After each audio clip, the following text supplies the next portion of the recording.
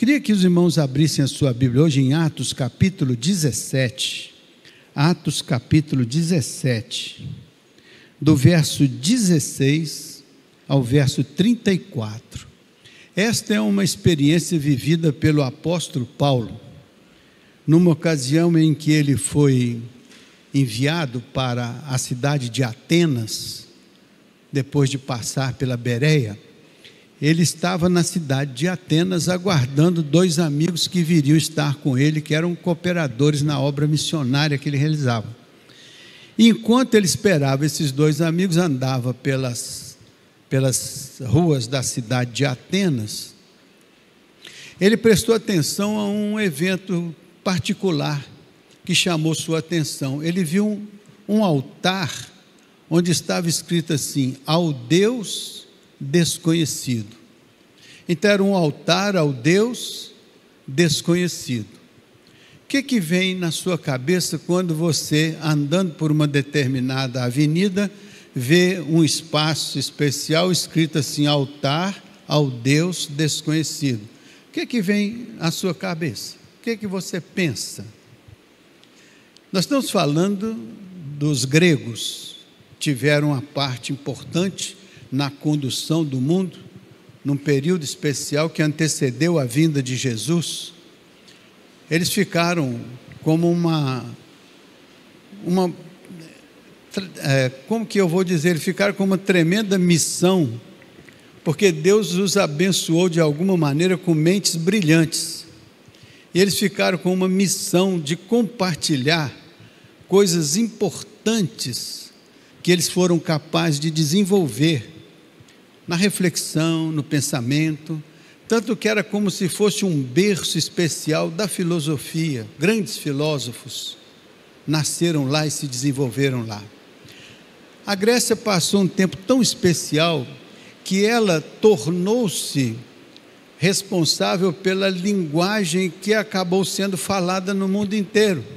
O idioma grego ocupou um espaço muito expressivo na comunidade das nações, porque o grego era como se fosse uma língua especial e universal naquele contexto. Tanto que o Novo Testamento, embora tivesse nascido no contexto judeu, né? Contexto onde o povo de Deus estava esperando o Messias, cenário especial.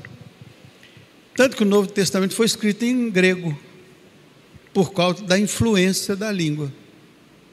Era como se hoje fosse o inglês, talvez, que todos tivessem algum acesso com mais facilidade. Então, Paulo, ele estava em Atenas, lugar especial da Grécia, cidade mais importante da Grécia. E andando pelas ruas, ele viu lá um altar ao Deus desconhecido, que chamou a atenção dele. E Lucas escreveu esse texto, Lucas era um historiador, escreveu esse texto para nos trazer, até hoje aqui, informações a respeito dessa experiência de Paulo. Diz que Paulo sentiu quando viu aquilo e de como Paulo tratou aquilo e como aquilo pode ser importante para a nossa vida na atualidade. Então eu vou ler com os irmãos e a gente vai pontuando e depois eu quero fazer uma aplicação para os irmãos.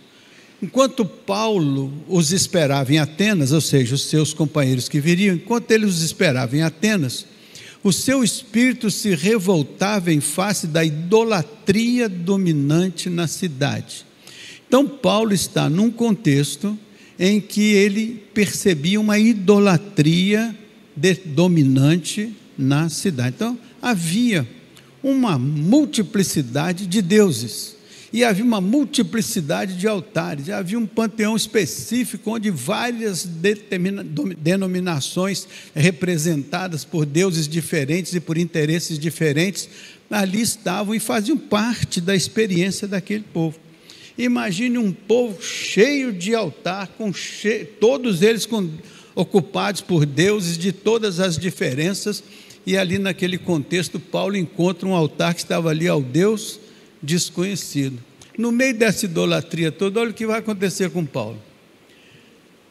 Por isso, dissertava na sinagoga entre os judeus. Então, Paulo, quando ia para um lugar, ele procurava uma sinagoga entre os judeus, para que ele pudesse congregar e compartilhar. Ele estava nos momentos do seu ministério quando ele queria dizer para os judeus a respeito de Jesus e do que havia acontecido com Jesus, especialmente a sua ressurreição. Tanto que quando ele falava de Jesus como um rabino, aí era, era fácil ser assimilado, mas quando falava da sua morte, da sua ressurreição, então ele tinha uma resistência muito grande. Quase em todos os lugares onde Paulo falava, ele mencionava a ressurreição e por essa razão ele tinha uma resistência da parte dos judeus. Então, vamos lá. Os judeus e os gentios piedosos também na praça todos os dias entre os que se encontravam. Então, Paulo, ele aproveitava a sua presença lá naquele contexto para pregar para os judeus e para os gentios piedosos que estavam ali. Mas um fato novo aconteceu. Vamos lá, verso 18. E alguns dos filósofos epicureus e estoicos contendiam com ele, enquanto ele está falando para um grupo de pessoas piedosas, possivelmente religiosas, judeus, que tinham uma percepção do Senhor, da palavra do Senhor. Então ele encontra no meio destes ouvintes dois dois grupos, um de epicureus e outro de estoicos. A, a, a, a Grécia, especialmente Atena, é, essa cidade onde eles estavam, eles tinham uma concentração de filósofos. A filosofia era muito praticada na Grécia, especialmente em Atenas, que era o centro cultural da Grécia. E ali, eles, ao fazer da filosofia uma ocupação, eles valorizavam muito o conhecimento decorrente dessa, dessa cadeia filosófica que cada escola defendia. Então, o que era na essência a filosofia? A filosofia era a busca das causas primeiras e dos fins últimos de todas as coisas. Isso é filosofia. Onde que as coisas começam, que trajeto elas têm e onde que elas terminam. Então é a origem e o destino de todas as coisas. Essa é a especulação filosófica. A filosofia quer entender esse processo. E cada um entende a partir das suas premissas pessoais, a partir das suas visões pessoais. Tanto que esses dois grupos, epicureus e estoicos, queriam também entender o sentido da vida. Então, os epicureus entendiam que a felicidade era o bem supremo que eles deviam buscar, independente dos caminhos que eles fossem encontrar. Mas eles queriam colocar como base principal da sua busca o prazer e a felicidade, tentando evitar a dor para conseguir isso. Agora, os epicureus, os estoicos, não, já eram pessoas mais voltadas para a consciência, tinham uma preocupação maior com a ética e o comportamento, de modo que quando uma pessoa é meio dura, você diz, rapaz, tem um espírito estoico, né? Parece um. Né? Não é assim? Então, esses elementos, cada qual defendia a sua visão de mundo, defendia a maneira como as pessoas deviam se comportar, como é que devia ser o relacionamento entre as pessoas, e cada qual buscava um resultado para a sua filosofia. Então, no contexto geral dessa visita de Paulo, ele também menciona os poetas que falavam a respeito do sentido da vida e da, da, do conteúdo da vida. Vocês vão ver nesse texto aí, mais adiante, ó. In, é, in, in, deixa eu olhar para aqui. Estoico contendiam com ele, havendo quem perguntasse: que quer dizer esse tagarela? Então chamaram Paulo de tagarela, um falastrão. Entenderam que o que ele estava dizendo não fazia muito sentido para eles, porque eles estavam vivendo uma outra realidade. E o que Paulo falava batia de encontro ao que eles pensavam. Então Paulo vai depois argumentar: parece um pregador de deuses estranhos, pois pregava Jesus e a ressurreição. Para eles, Paulo era um pregador de deuses estranhos. Porque Paulo estava falando de algo que não era comum para eles. embora eles fossem cultos, embora eles fossem religiosos, embora eles tivessem centenas de altares, mas o que Paulo falava era completamente novo para eles. Eles não tinham essa experiência. Então, não consideraram Paulo, não levaram Paulo a sério. Outros fizeram de maneira diferente. Vamos ver o que, é que vai acontecer no texto. Assim, então, tomando consigo, tomando Paulo, eles o levaram ao Areópago, dizendo: Poderemos saber que nova doutrina é esta que tu ensinas? Então, alguns pegaram Paulo, eles não eram acostumados a discutir filosofia, não eram acostumados a discutir o, o, o princípio das coisas e o fim delas, eram acostumados a querer conhecer, entender, dominar o conhecimento. Então eles pensaram: esse tagarela deve ter alguma coisa interessante para dizer, vamos levá-lo lá para o Areópago, vamos levá-lo lá para onde ele possa estar mais à vontade, para nos explicar o que, que é isso que está acontecendo com a pregação dele, qual que é o conteúdo dessa pregação. Olha o que, que vai acontecer. Posto que nos trazes aos ouvidos coisas estranhas, queremos saber o que vem a ser isso que você está dizendo. Para eles, a palavra de Paulo era um conteúdo diferente do que eles estavam acostumados a ouvir. Então, Paulo vai depois explicar detalhadamente o que era o seu conteúdo. Vai vendo aí, ó. Pois todos os de Atenas e os estrangeiros residentes de outras coisas não cuidavam, senão dizer ou ouvir as últimas novidades. Então, os atenienses queriam ouvir as novidades. Paulo ali era uma novidade. Paulo tratava de alguma coisa que para eles não era muito muito comum. E eles então ficaram curiosos e levaram Paulo lá para o Areópago, que era o lugar onde eles debatiam as coisas públicas, as questões, e Paulo então foi com eles. Olha o que, é que acontece lá. Então Paulo levanta, eles queriam saber de Paulo. Então Paulo levantando-se no meio do Areópago, disse: Senhores atenienses, em tudo vos vejo acentuadamente o quê? Religiosos. Então, Paulo, muito inteligente, parte de alguma coisa que era comum entre eles. Paulo não tinha visto uma porção de altares? Paulo não tinha visto uma religiosidade pululante na cidade? Paulo não tinha visto uma série de manifestações religiosas nos altares que ali existiam, ao ponto de achar até um altar que era o Deus desconhecido, acho que eles ficaram com tanta preocupação de não esquecer de Deus nenhum, que deixaram um altar ao Deus desconhecido, porque se aparecesse o Deus desconhecido, olha, aqui está o seu altar, a gente não se lembrava do seu nome, mas aqui está o seu altar, você pode ficar à vontade, você está no meio de todos os deuses que existem, tem até um lugar para você, ao Deus desconhecido. Então, Paulo, partindo desse princípio, olha o que, que Paulo diz, ó, eu vejo vocês muito religiosos, por quê? Deixa eu olhar para cá. Porque passando e observando os vossos objetos de culto, olha o que, é que Paulo diz: passando e observando os vossos objetos de culto, encontrei também um altar no qual está escrito: ao Deus desconhecido.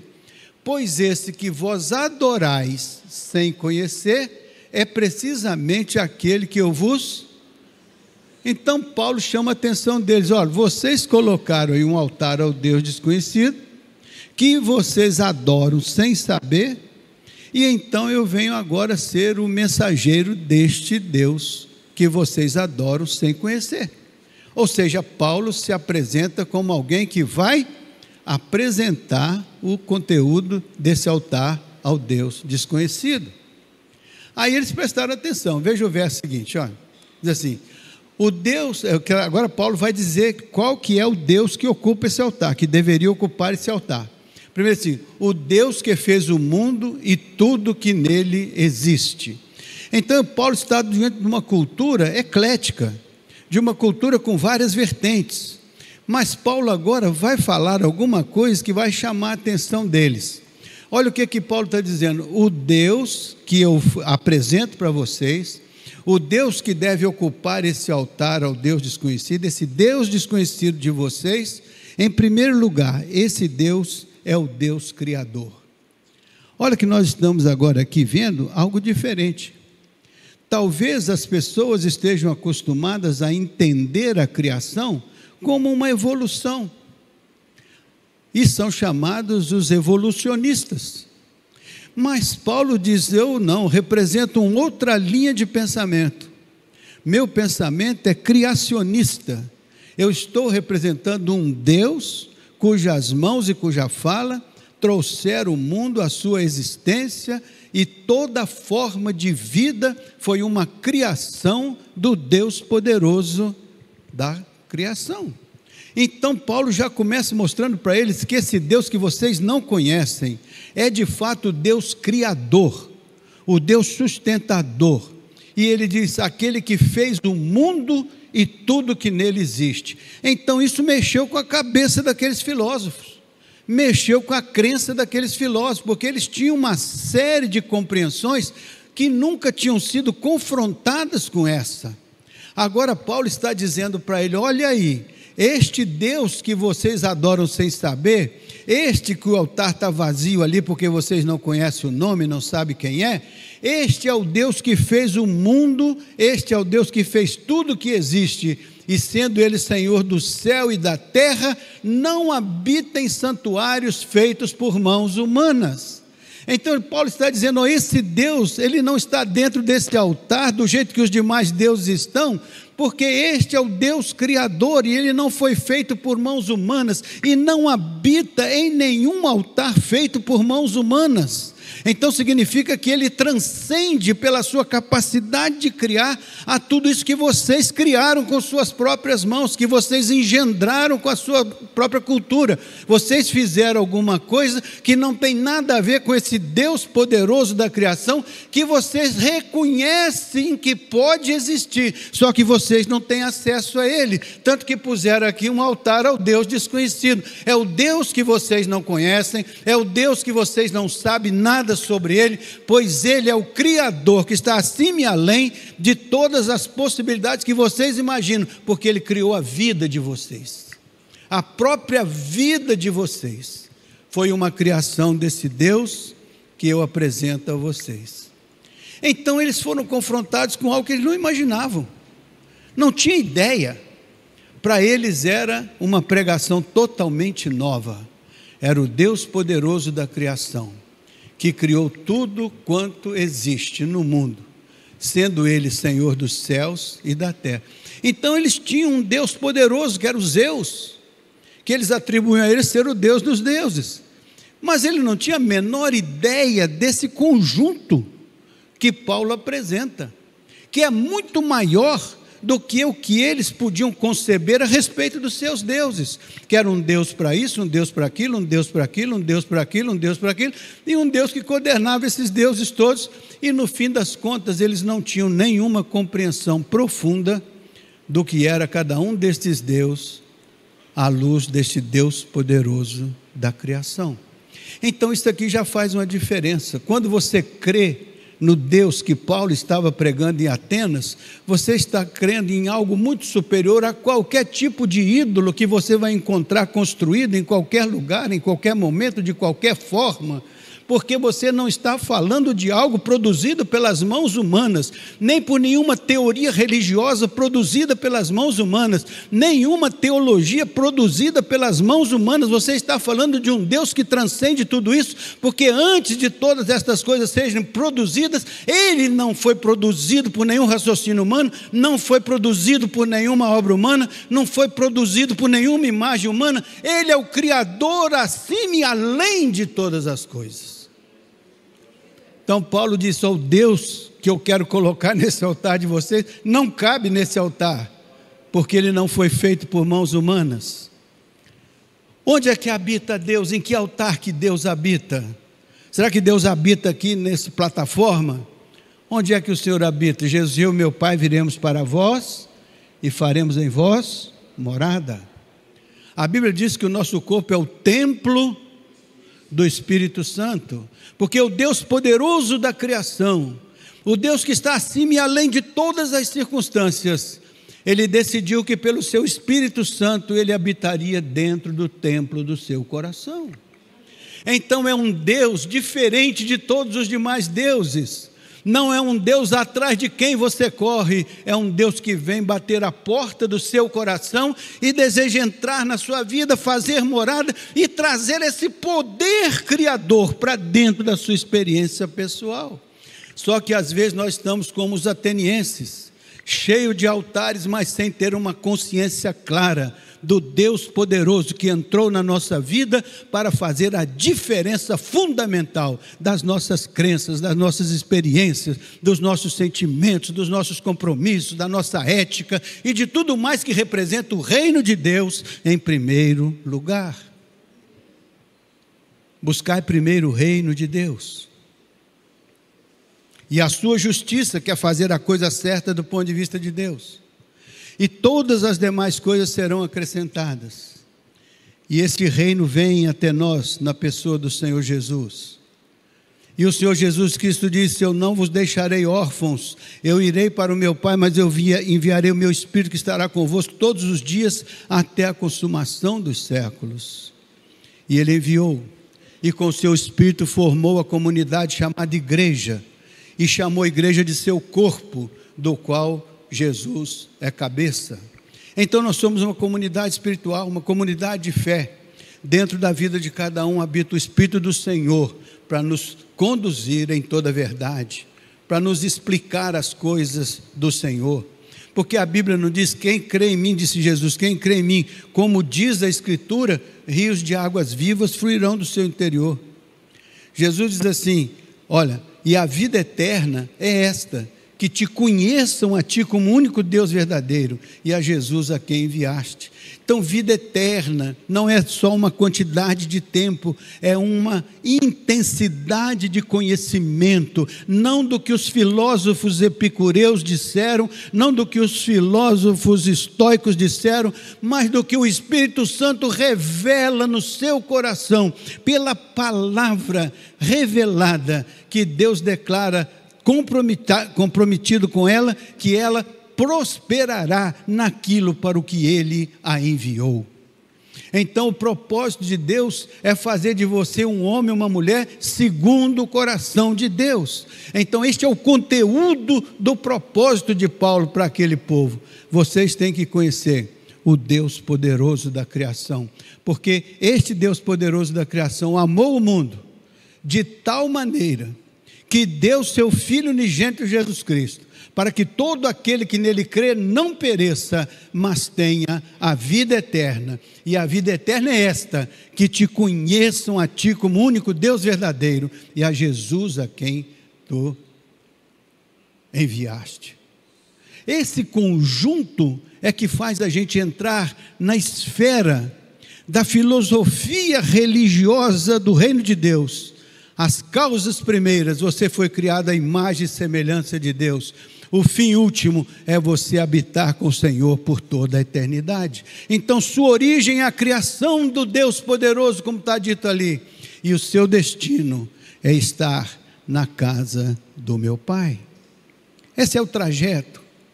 Esta é a filosofia, as causas primeiras, sua criação em Deus. Os fins últimos, você ser recebido pelo Senhor nas moradas eternas. Enquanto isso, você transita por esse mundo, você faz escolhas, toma decisões, constrói conteúdos e faz da sua vida um espaço onde o Senhor pode operar poderosamente ou um espaço que está com o altar ao Deus desconhecido, porque você não conhecendo na sua ignorância espiritual pode deixar Deus de fora porque sua vida já está cheia de outros conteúdos que não o conteúdo espiritual, procedente da palavra de Deus e operado em nós pelo Espírito Santo que nos foi dado. Faz sentido? Então tá. Olha, Criador dos céus e da terra, sendo Ele Senhor dos céus e da terra.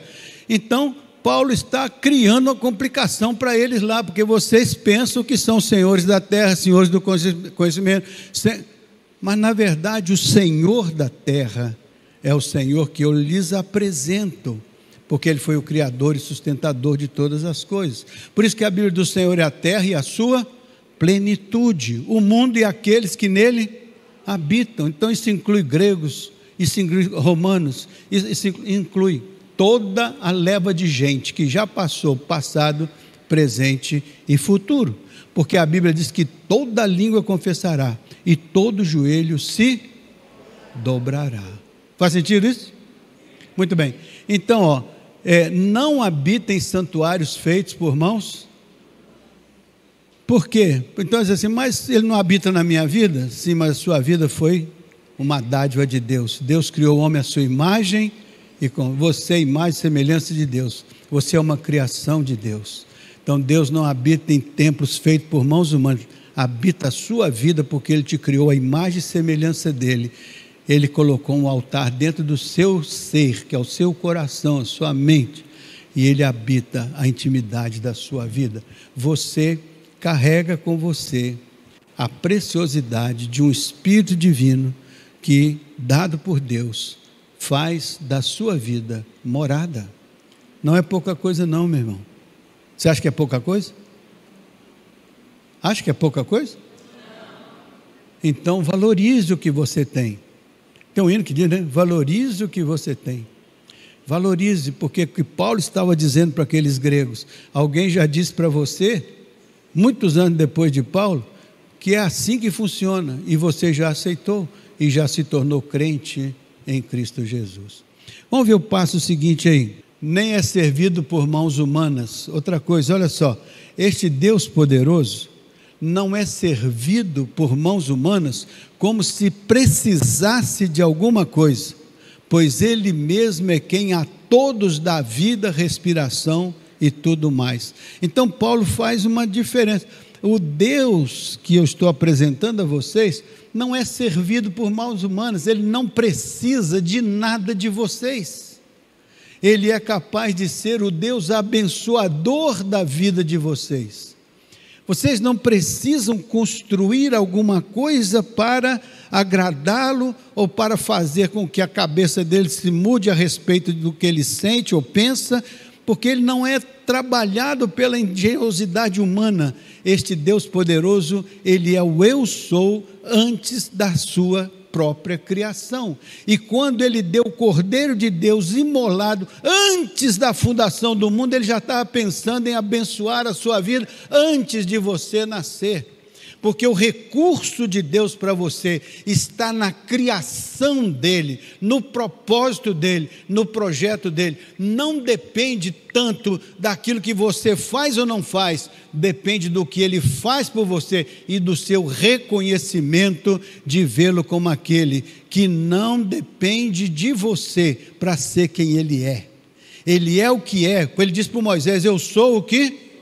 Não dependo da sua opinião, não dependo de nada de você para ser o que eu sou. Agora tenho certeza que você depende muito de me conhecer para perceber o conteúdo que foi a sua criação e o que eu faço por você e dentro de você. Então Deus não precisa do seu conhecimento, você precisa do conhecimento de Deus. Por que, que você precisa do conhecimento de Deus? porque assim você pode encontrar o caminho da vida, a vida abundante, a vida especial. Por isso que a vida vai, que a Bíblia vai dizer que Jesus é o caminho, ele é a verdade e ele é a vida. O que que nós queremos na trajetória? Nós queremos saber a verdade. Aquela verdade que talvez a filosofia não seja capaz de nos esclarecer, mas a palavra de Deus, o Espírito de Deus nos conduz na verdade. Ele é o poderoso Deus Criador dos céus e da terra, que no seu Espírito que habita em nós está o seu prazer, prazer do Senhor, para nos conduzir em toda a verdade, nos convencer dos desvios, nos convencer do pecado, nos convencer da justiça nos convencer de qual é o caminho do Senhor e nos tocar a alma para que nos arrependamos, a fim de que possamos andar nos caminhos do Senhor. Veja só, então, ó, é muito interessante o que a gente que eu anotei aqui, ó. Deus que criou é o criador, criou tudo, o Senhor dos céus e da terra não habita em santuários feitos por mãos humanas, não é servido por mãos, pois Ele é que dá a vida a todos. De um só, veja o próximo, de um só Olha, olha, olha o que, que Paulo está dizendo para dar um nó na cabeça daquele pessoal. De um só fez toda a raça humana para habitar sobre toda a face da terra, havendo fixado os tempos previamente estabelecidos e os limites da sua habitação. Então, Paulo está dizendo o que para eles? Esse Deus poderoso, de um só, fez toda a raça. Mas como? É porque, na verdade, ele começou com uma semente no Éden e deu a essa semente a prerrogativa de se multiplicar, sabendo que o fôlego da vida depende dele. Então, de um só, ele fez toda a raça. Então, ele é o criador e é o sustentador desse processo de criação e de, de construção daquilo que é a humanidade como nós a conhecemos. Então, por isso que nós, entendendo Paulo, entendemos a criação de Deus, não uma criação acidental, não um acontecimento eventual, não um fato ao qual se possa atribuir a origem da vida. A origem da vida está nas mãos do Senhor, porque não está dito lá de um só, ele fez a raça, ele construiu. Então, Paulo está dizendo para aqueles atenienses: foi Deus o Deus Criador, o Deus que faz, o Deus que constrói, o Deus que edifica. Por isso que a sua vida é uma obra-prima de Deus, é uma obra especial de Deus, é algo que Deus fez. E nós somos, geração após geração, obra de Deus, cuidado de Deus conteúdo divino que se manifesta na geração de cada geração. E assim até que chegue o fim.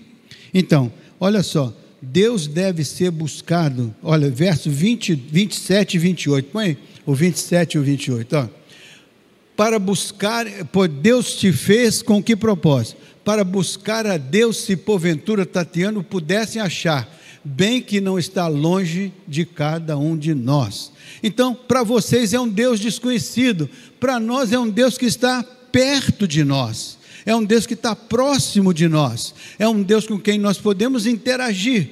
Então você entende que existe um Deus desconhecido e eu estou te apresentando esse Deus desconhecido para que você possa relacionar-se com Ele, a fim de que Ele não seja mais desconhecido para você, mas reconhecido por você como Deus que pode. Olha lá, se porventura Tatiano pudesse achar bem que Ele não está longe, por isso que você vê uma frase na Bíblia que diz assim: Eis que eu estou à porta aí e bato, porque Ele não está longe ele está ao alcance da sua atenção, a batida dele no seu coração. Por isso que a Bíblia diz: aqueles que de madrugada me buscam, me.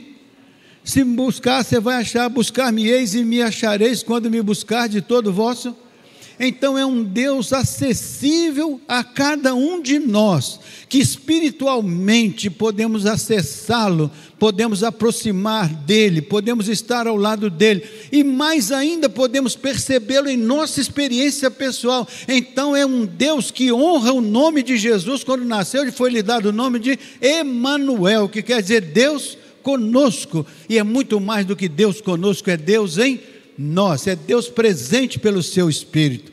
Não quer dizer que nós nos tornamos divinos, não quer dizer que nós nos tornamos templo, morada de Deus. Deus se interessou por estar conosco, gerou dentro de nós uma nova criatura, nos orienta, nos administra os passos, nos conduz, nos conforta, nos consola, nos esclarece, nos convence e assim vai nos conduzindo em toda a verdade.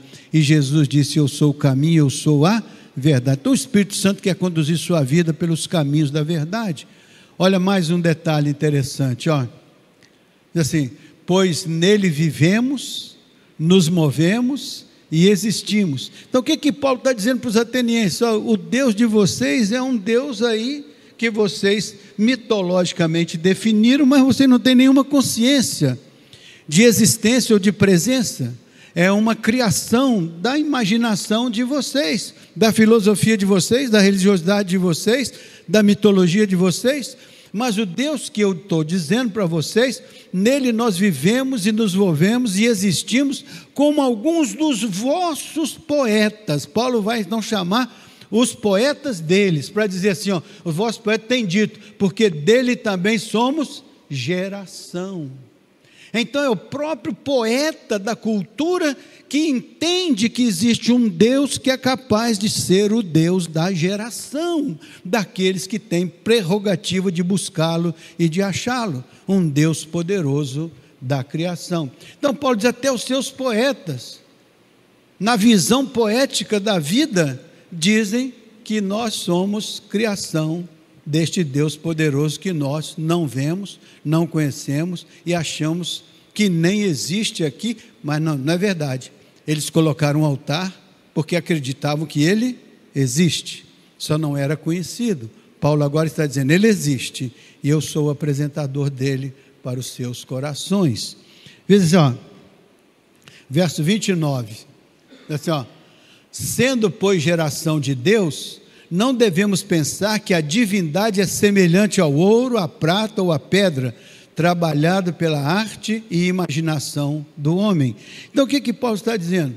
Nós não devemos pensar que este Deus capaz de gerar a vida, ele não pode ser feito por mãos humanas, retratado por uma imagem qualquer, porque ele está muito além e acima. Pensar que a divindade é semelhante ao ouro, à prata, não é. Não é semelhante ao ouro, a divindade é espírito e importa que os seus adoradores o adorem em espírito e em verdade. Quando alguém pretende reduzir o divino a uma imagem, ele está criando algo segundo o seu entendimento e a sua percepção. Mas quando Deus se revela, ele se revela como um espírito que comunica com o seu espírito, é uma linguagem espiritual. Por isso que a Bíblia diz: o Espírito de Deus comunica com o nosso espírito que somos filhos de Deus. Ele declara sobre nós a sua paternidade. E não tem nenhuma imagem que vá retratar isso, a não ser a nossa fé que acredita que Deus se interessou por nós, alcançou a nossa vida e nos fez filhos do seu amor. Não tem imagem, não tem nada de ouro, nem de prata, nem de barro, nem de ferro, porque não tem nenhuma idolatria que possa ocupar este lugar exclusivo do Deus poderoso da criação que se interessa por nós, bate na porta do nosso coração e diz: Eu criei o mundo e todas as coisas, criei você a minha imagem e semelhança, e tudo que eu quero é estabelecer um relacionamento amoroso, abençoado, justo, verdadeiro, ético com você. Eu quero ser o seu Deus e quero que você seja ovelha do meu pastoreio. É muito maravilhoso isso, é extraordinário, né? Veja aí o verso 30. Veja o verso 30 para vocês se animarem. Verso 30. Ora, Deus não levou em conta o tempo da ignorância. Agora, porém, notifica a todos os homens em toda parte que se arrependam da sua ignorância. Então, Paulo está dizendo para eles: olha, o tempo da ignorância passou. Vocês têm toda a filosofia, têm todas as possibilidades de conhecimento, de cultura, de arte, de tudo mais. Mas tem uma coisa que vocês não têm, é o conhecimento deste Deus poderoso da criação. Vocês fizeram um altar ao Deus desconhecido. Ele é o Deus que não leva em conta o tempo da sua ignorância, mas te dá a chance agora de você superar todo esse conjunto de ignorância e que você possa arrepender-se e que você possa agora receber na sua intimidade o Deus poderoso da criação. Aí você vai experimentar o divino. Não será mais uma religião, não será mais alguma doutrina que você professa, não será mais uma história religiosa, agora será o Deus poderoso da criação comunicando com o seu espírito que você é filho de Deus. É isso que faz a fé cristã ser poderosa e sobreviver a toda forma de perseguição, a toda forma de dificuldade. O cristão verdadeiro sabe que ele carrega dentro de si a presença viva do Deus vivo. E isso é que faz a sua vida ser alimentada espiritualmente. Isso é que faz a fé ser renovada cada dia. Isso é que faz você crer que com você caminha o Espírito do Senhor. Então sua vida não é um altar vazio. Sua vida não é um altar ao Deus desconhecido. Sua vida é um altar ao Deus que você conhece, porque o Espírito Santo o revelou a você. Né?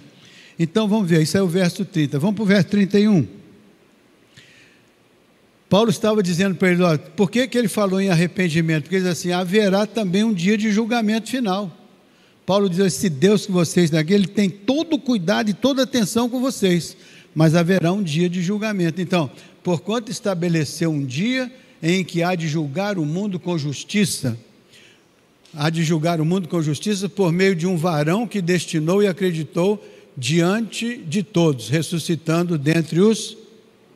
Paulo fala da ressurreição de novo. Eles vão ter um ataque lá quando Paulo fala de ressurreição. Eles não admitiam a ideia da ressurreição.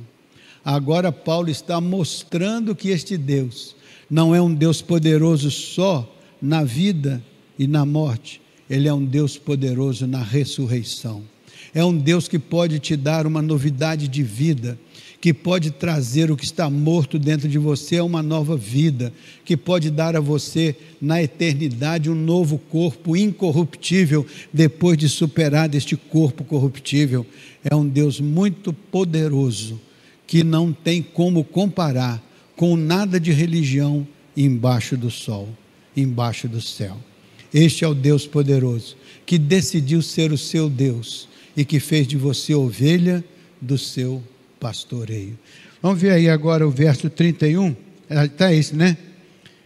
Ele ressuscitou. Agora eu peço para você é, ver as consequências disso. O verso 20, 32. Quando Paulo fala isso, eles vão ter uma reação. São três reações e você vai acompanhar as três. Primeira reação: quando ouviram falar de ressurreição dos mortos, uns escarneceram Outros disseram: a respeito disso, nós vamos te ouvir em outra ocasião. E o outro grupo, o que, que aconteceu? A essa altura, Paulo se retirou do meio deles. Próximo. Houve, porém, alguns homens que se agregaram a ele e creram. Entre eles estava Dionísio Areopagita e uma mulher chamada Dam, Damares, ou Damares, né? e com eles outros mais. O que, que aconteceu quando Paulo termina a sua pregação? Uns escarneceram, isso aí não tem valor nenhum, esse, esse Deus desconhecido, não, interessa. Outros disseram, numa outra ocasião, quem sabe a gente vai dedicar um tempo para estudar isso aí, para pensar isso aí. Mas a Bíblia diz: Mas alguns creram, abriram seus corações e experimentaram o dom de Deus para experimentar uma tão grande salvação. Você faz parte de qual grupo?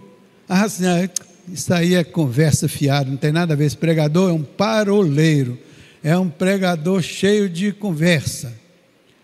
Aí outros vão dizer assim: não, outro dia talvez, hoje estou ocupado com outras coisas, não há espaço para esse tipo de conteúdo na minha vida. Ou você pode ser como aquele Dionísio Areopagita, lá do Areópago, né? Que creu, ouviu, entendeu, creu e trouxe a presença do Deus poderoso para dentro da sua experiência pessoal. Aqui nós somos gratos a Deus porque um dia abrimos nossas vidas, recebemos o Senhor dentro dos nossos corações e fizemos das nossas vidas verdadeiros altares, onde o nome dele é honrado, glorificado. Jesus diz: Pai, eu glorifiquei-te na terra, tendo consumado a obra que o Senhor me deu a fazer eu quero também glorificar o Senhor na vida que o Senhor me deu para viver. Glorifica teu nome na minha vida. Glorifica teu nome na vida da minha família. Glorifica teu nome na vida da minha igreja. Glorifica o teu nome por onde eu andar, que a minha vida seja uma manifestação da tua bênção, da tua graça. Paulo pregando isso aí, ele podia dizer o que ele disse lá em outra ocasião, eu não me envergonho do Evangelho de Cristo, que é o poder de Deus para a salvação de todo aquele que crê.